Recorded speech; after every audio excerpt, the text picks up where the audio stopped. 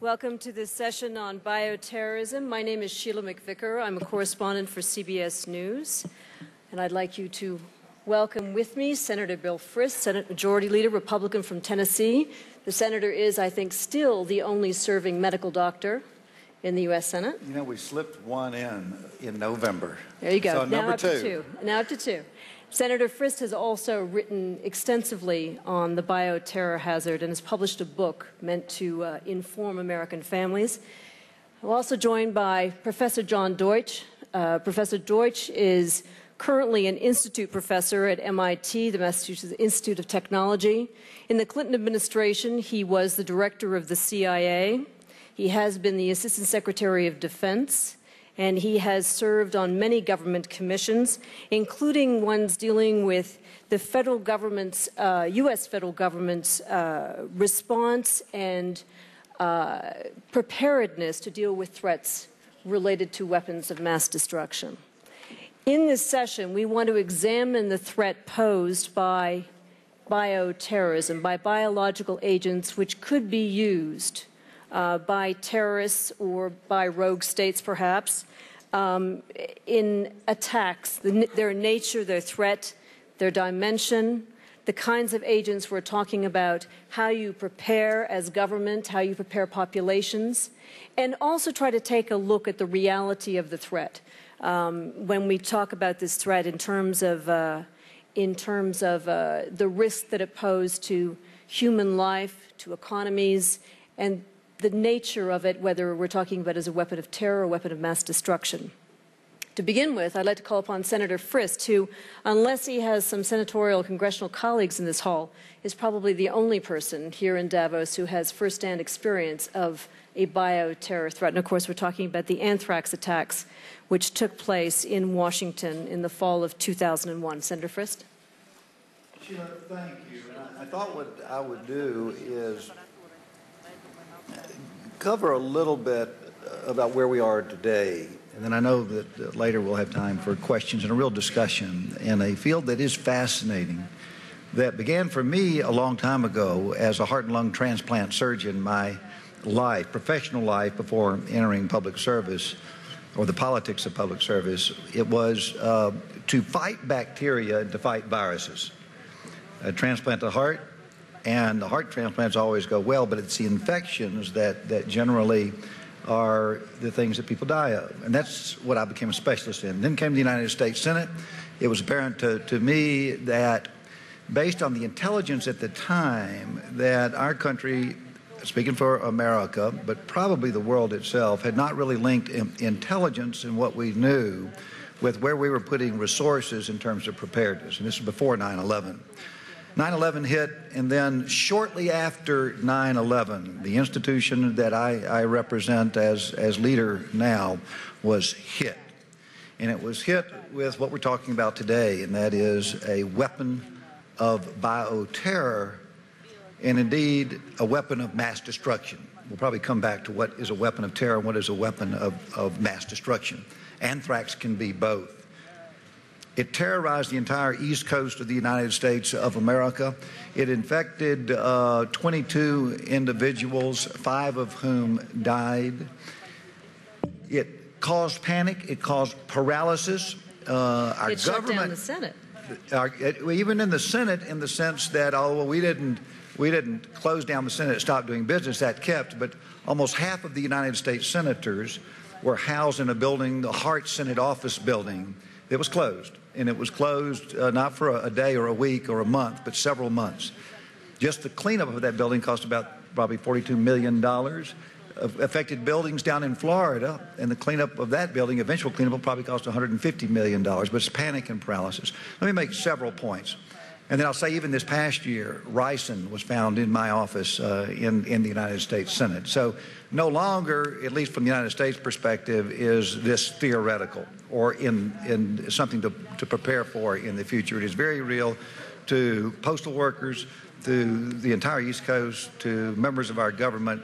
It's had a, a huge impact. Several points let me make, and then we'll, I'll come back.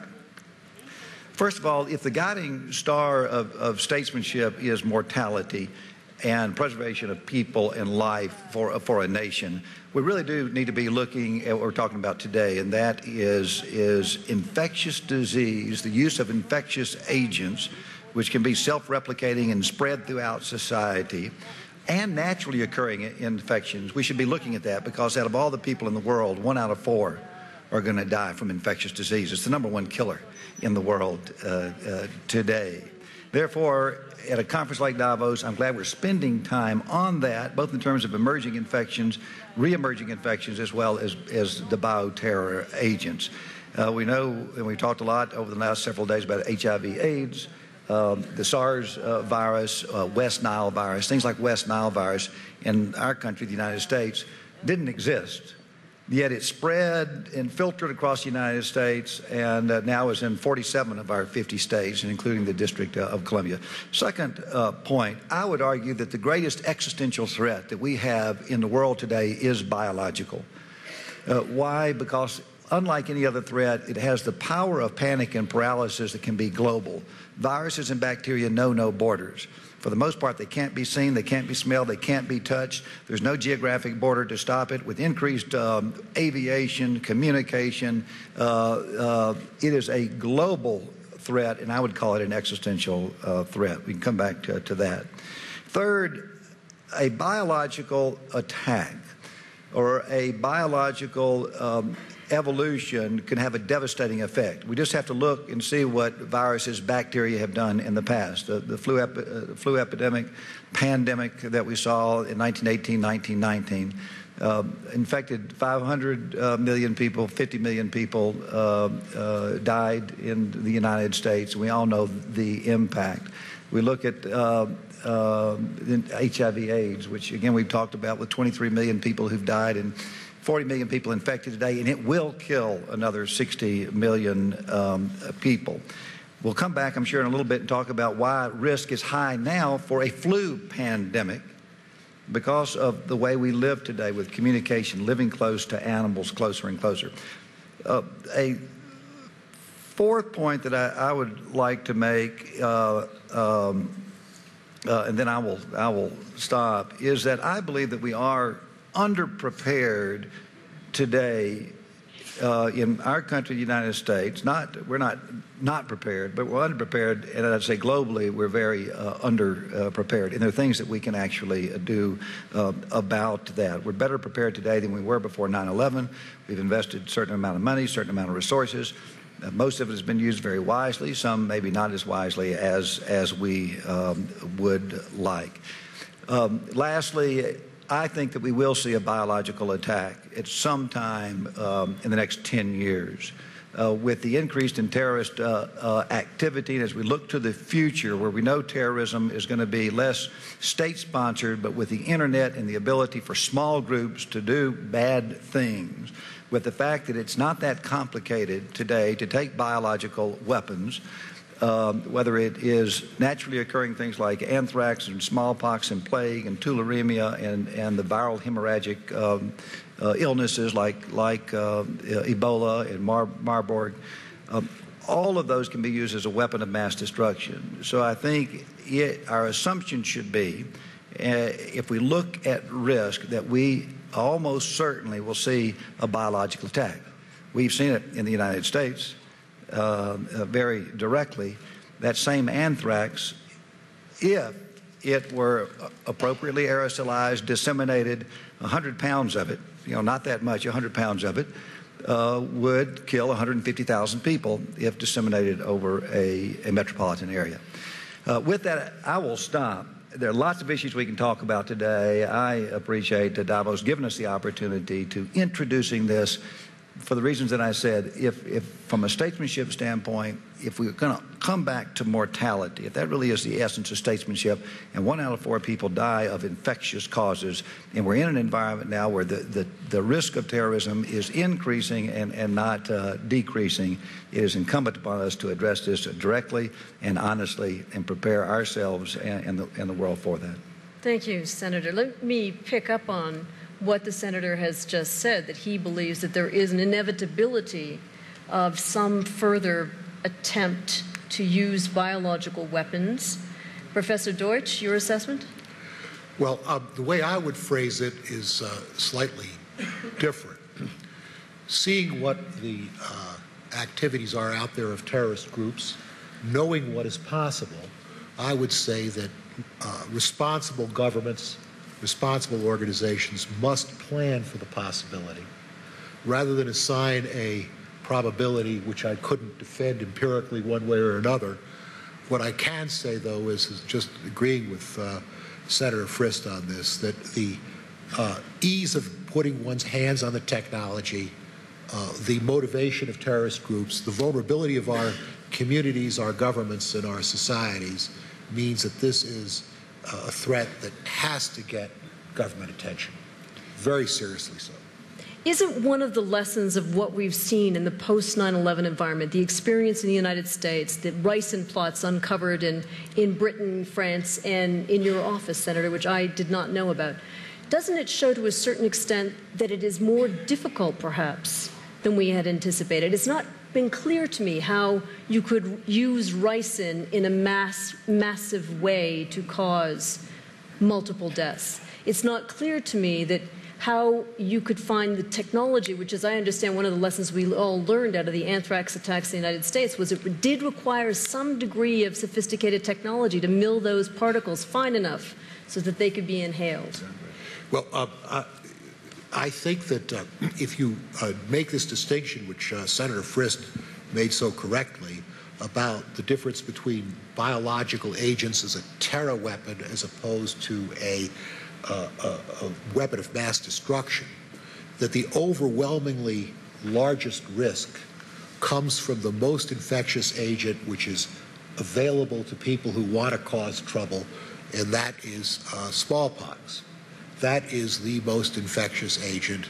And compared to, for example, anthrax, uh, where the estimate of 100 pounds leading to a few tens of thousands or 100,000 uh, uh, fatalities or casualties, if you have an infectious outbreak of smallpox in a uh, an urban area or in a country where uh, there are a lot of elderly people and a lot of young people, the uh, uh, number of fatalities can be much, much higher than that. So the highest priority really must be against the infectious agent smallpox. And then after that, anthrax, it seems to me, and then other things. and we are not really well equipped or doing what we should be on that. But a couple of points. I mean, smallpox, we do know where all the stocks of smallpox are, don't we? There's supposed to be two of them. Well, we know where the, uh, the secured, uh, uh, responsibly governed stocks of smallpox are, but I think that everybody should realize that there are places in uh, less hygienic parts of the world, old uh, graves, old uh, uh, dumps of one kind or another where it's almost certain that one could obtain smallpox and then uh, uh, grow it to a very small amount that would allow you to produce enough amount of materials to get uh, uh, uh, yeah, distributed. I, I think I think John's right. Everybody, we know that the United States and, and Russia, in what are we believe are, are secure locations, there is smallpox.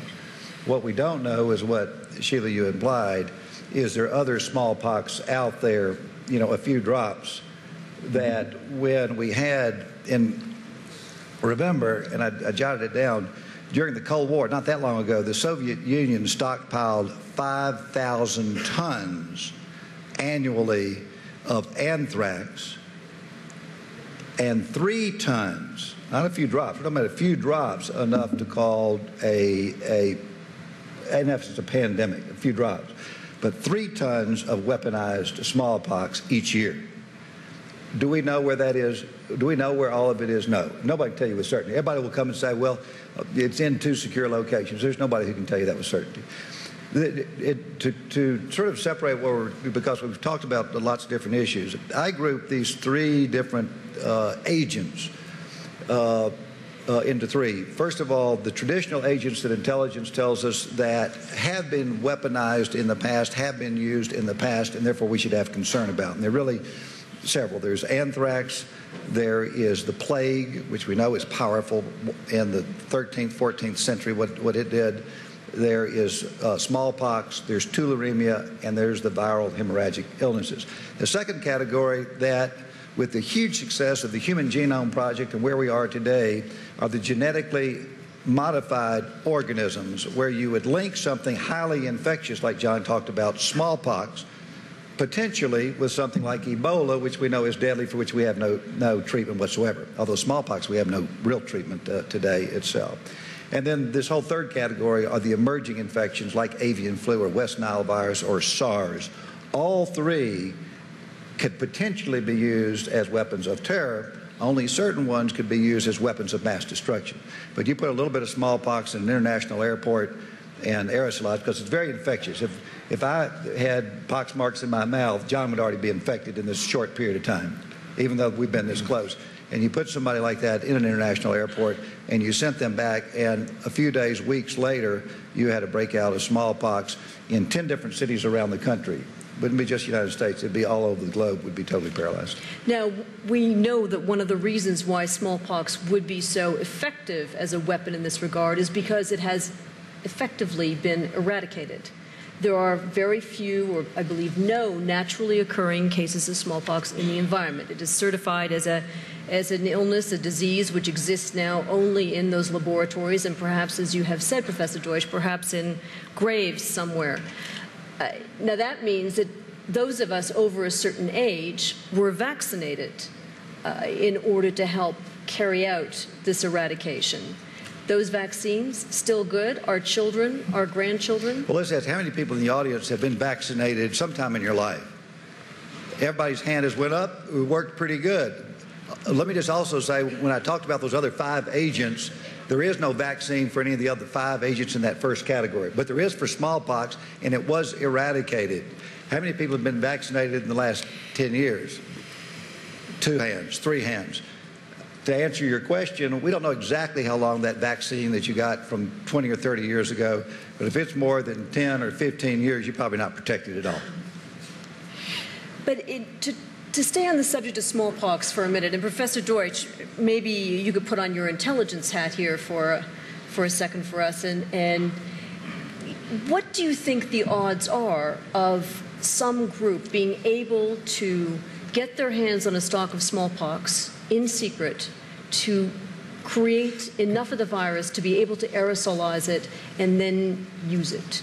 Is this something that you believe that there are people out there actively seeking to do now, something that people are thinking about, or something that there are that there are people who are uh, ready to move forward with? Well, uh, I, am not going to be able to answer this as a uh, up-to-date intelligence uh, officer. Uh, I left being director of Central Intelligence uh, uh, roughly uh, nine years ago. So, but there's no question about the fact that you have groups out there, a couple of handfuls of groups in the world, uh, where they have a the capability of doing so should they want to do it. Not as difficult as building a nuclear weapon or getting access to fissile nuclear material, another great concern of our societies uh, they A, have that capability, and uh, B, if they have the intention to create a weapon that will be either of this terror variety or possibly of catastrophic consequence, uh, they could uh, uh, certainly do it. And in my judgment, deliver it against the main cities of any of our countries that are here in, uh, represented here in Davos at the World Economic Forum. That is why I believe that we should go back to a policy of vaccinating everyone. Now, the United States, I think, took a, you'll help me on this, Senator, uh, an early step of saying, well, we'll start by vaccinating our first responders, those people in local communities and hospitals, police departments, that would have pharmacies, that would have to deal with the first cases that came in. Uh, however, I think the fraction, it's been less than 10% of those first responders who have chosen to have that. So I would vaccinate, uh, uh, our urge that we vaccinate for smallpox everywhere. Uh, I would urge that we think about anthrax vaccinations, uh, botulinum when it comes up. These are ways that modern medical science, with the support given to it by Congress, uh, can help us protect ourselves against at least the catastrophic part of these attacks. So I, I think that's uh, well overdue, uh, and I would start with smallpox. Sheila, let me jump in because I think John just hit it. As we look to the future, we have to look at intent and we have to look at capability. I didn't answer when, when you'd asked or you implied that these biological agents are difficult to make. They're not. You can take a postdoc, not even a postdoc, someone working on, on their, their doctoral degree, give them $60,000, give them a room 8 by 12, and let them buy commercially available uh, materials, including commercially available distribution type uh, uh, machines, very simple, get them over the internet, um, and you can create clearly something like anthrax, which, if disseminated, 150,000 people is not is a lot of people. One person, inexpensive. Uh, that's capability. On the intent side, uh, again, we don't want to be talking intelligence, but let me give you two pieces of information. Last week or two weeks ago in the United States, our CIA released a National Intelligence Council report. And these are our smart people who sit back and look over the next five years, 10 years, or 20 years. And they were looking at the field of terrorism. And their initial conclusion was because, as I implied, terrorism today is going to be decentralized as we look to the future. The internet, the capability that you have to, to be very decentralized.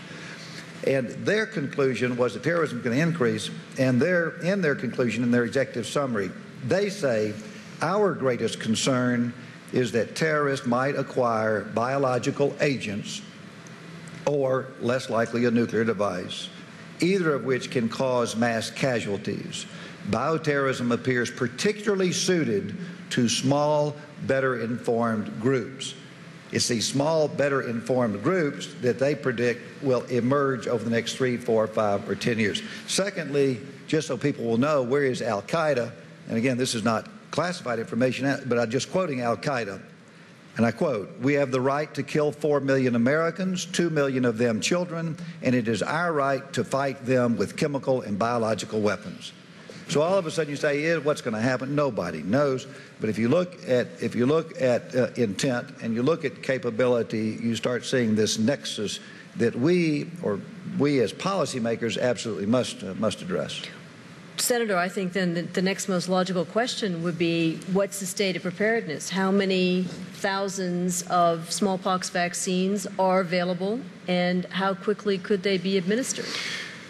Well, again, we can't just focus on, on smallpox because as soon as you handle smallpox, the terrorist just moves on down the list. We talked but, about anthrax. What about plague? Plague was pretty powerful, wiped out millions of people at a time, and we have no vaccine for it today.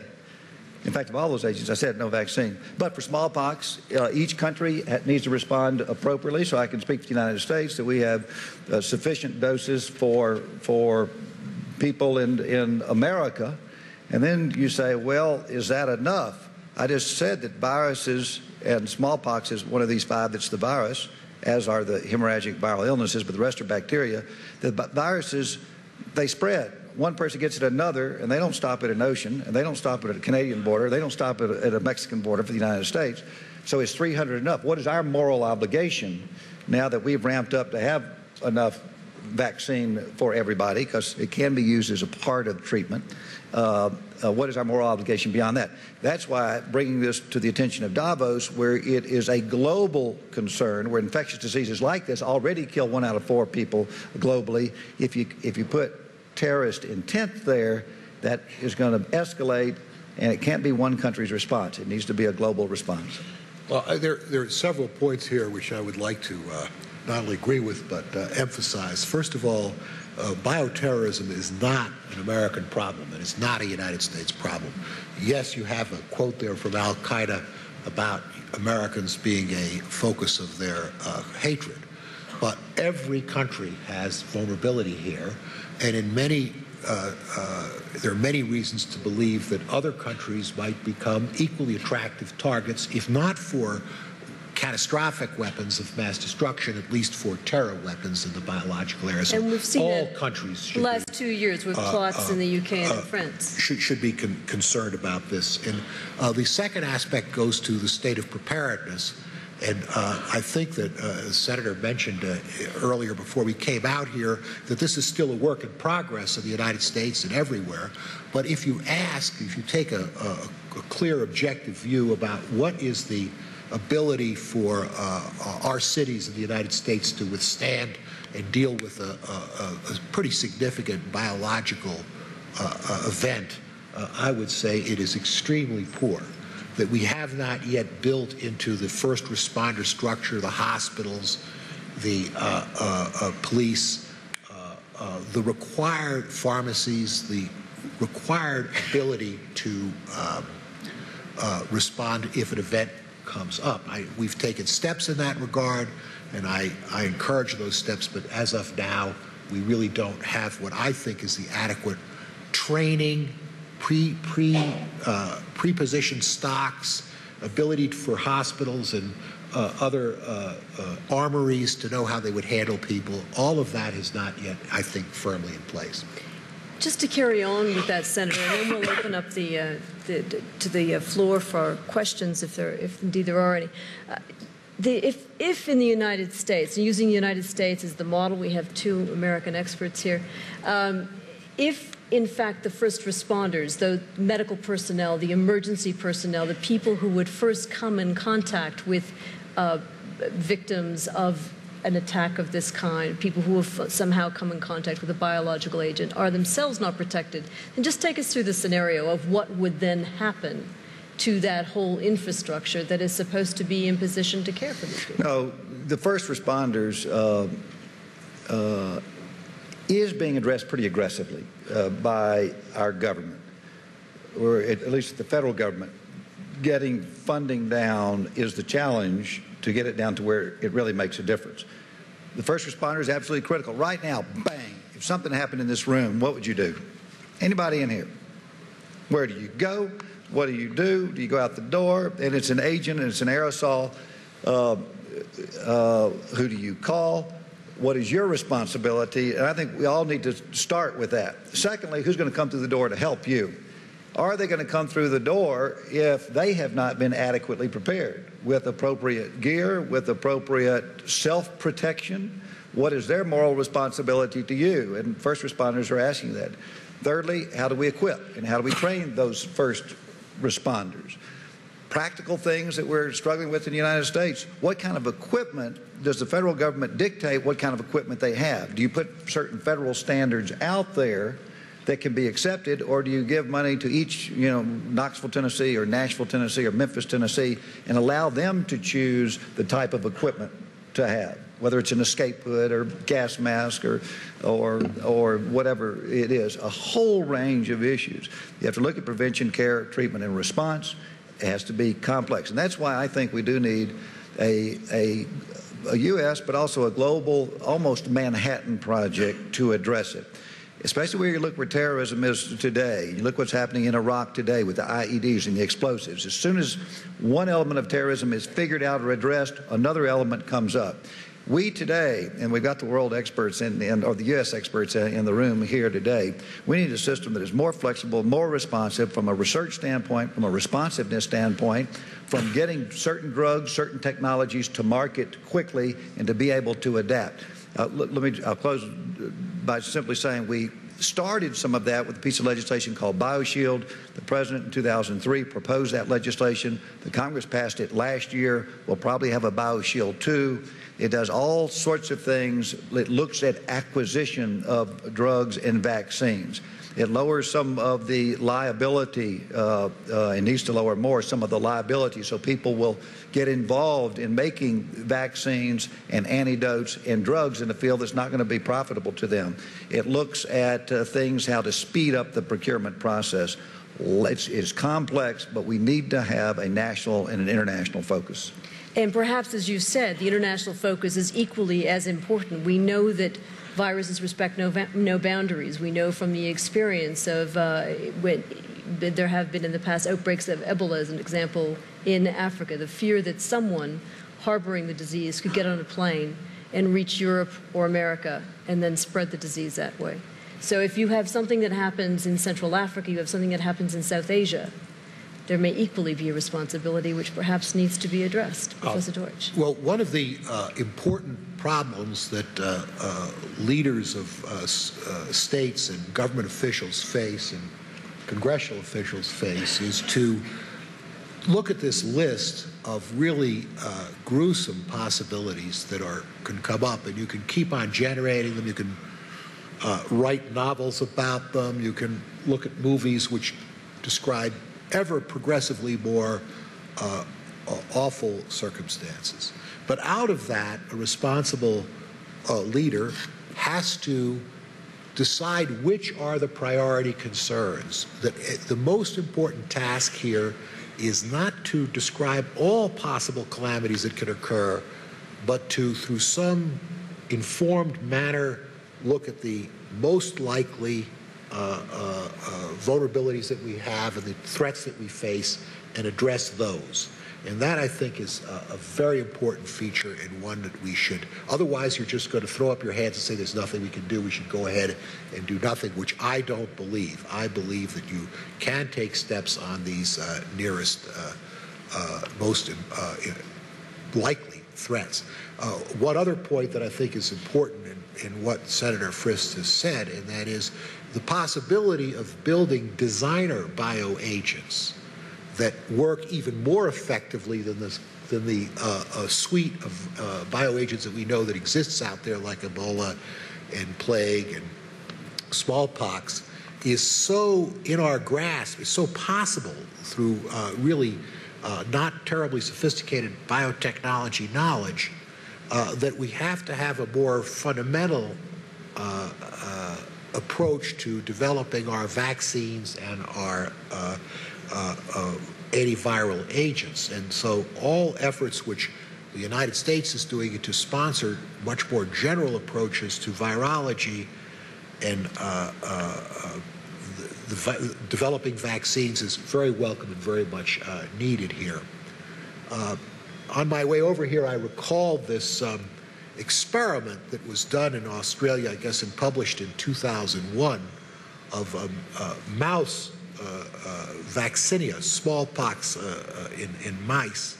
And a group of researchers down there put in their a cassette gene of uh, which which added something which suppressed the immune system, interleukin 2 derivative.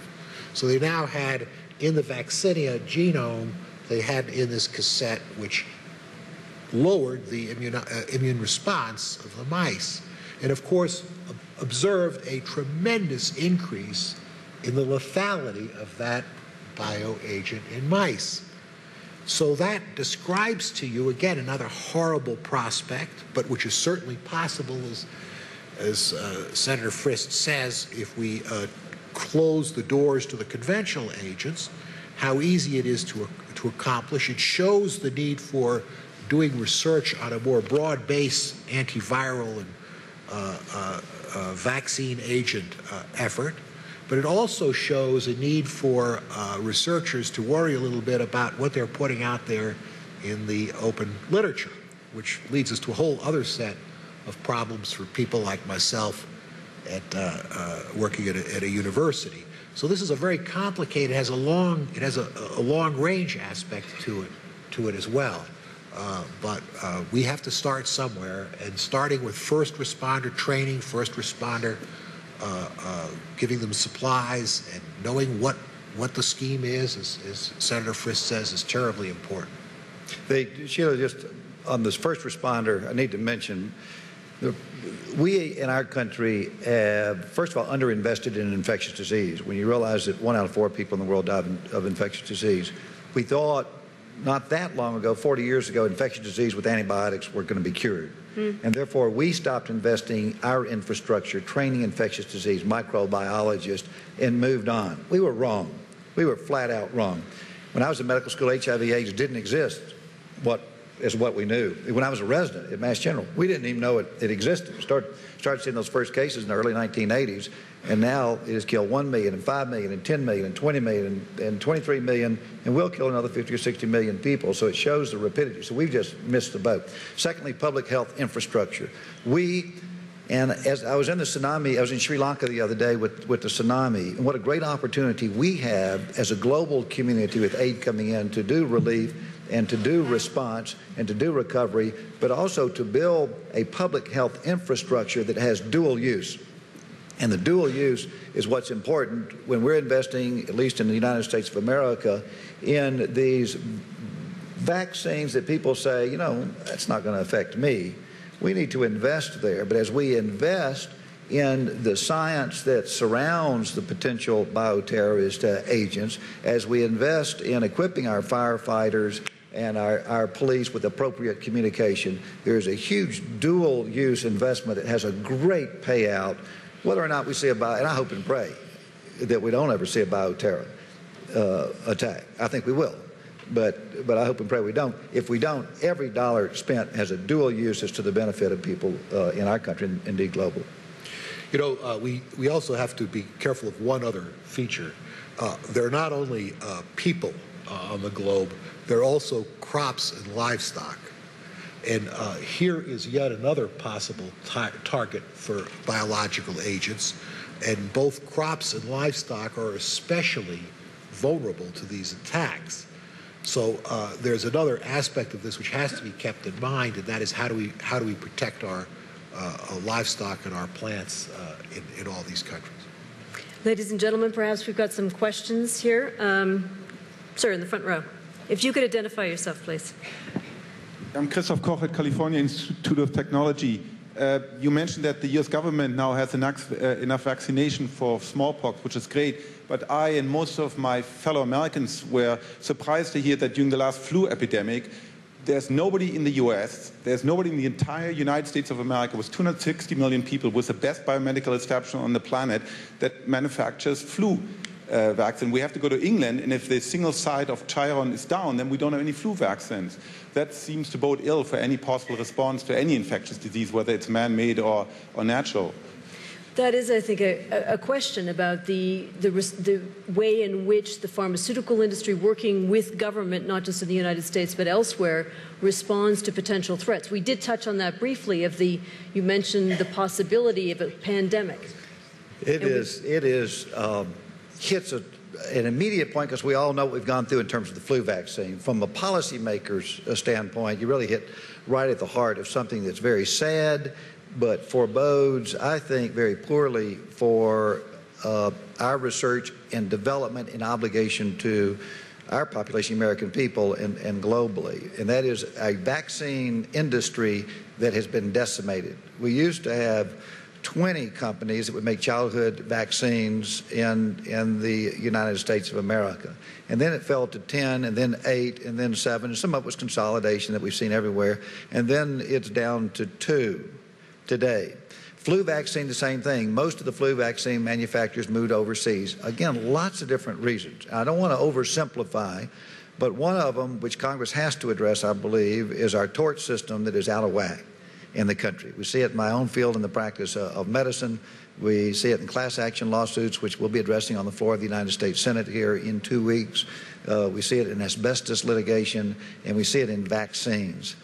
Right now, the way our system is set up, and our, our vaccine injury compensation program, which historically has looked, worked very well, needs to be totally modernized because why would anybody get into a business and make a group of vaccines that we know unscrupulous trial lawyers would come in and sue for $10 million for one case. Why would anybody be in the business itself? So we have to address it. That's one example, and it's not just the liability issue, but we absolutely must address. It. It's also why with BioShield, which is our first crack at legislation, that we need to make it easy for our private sector, working hand in hand with government, to get involved to do the research, to produce the drugs, to make the vaccines, to give them some incentive to do so, because there hasn't historically been an economic incentive there, especially for the potential of a bioterrorist agent, but also for a lot of the vaccines where the liability is so high. Just before we continue on with uh, more questions, I'd like to introduce Dr. Tara O'Toole. Dr. O'Toole is the director of the Center for Biosecurity at the University of Pittsburgh Medical Center and she has served on numerous U.S. government advisory bodies on biodefense. Thank you for joining us. Sorry to be late. Yes, gentleman in the red sweater. I'm Francis Collins, uh, Director of the National Human Genome Research Institute at NIH. I was uh, pleased to hear uh, the positive optimism about how biotechnology is going to provide protections against the diseases that other types of evil biotechnology may uh, bring down on our heads. And obviously, there's a serious question here about the good guys and the bad guys and who has the edge. And I wanted to follow up then on this debate about uh, to what extent uh, should this sort of research become classified, because that's a very hot topic in the scientific community. Uh, I would argue, as a scientist involved in the study of genomes uh, of ourselves and of organisms, that it is in general a great advantage in terms of staying ahead of the bad guys if you have as many scientists as possible freely able to work on an important problem.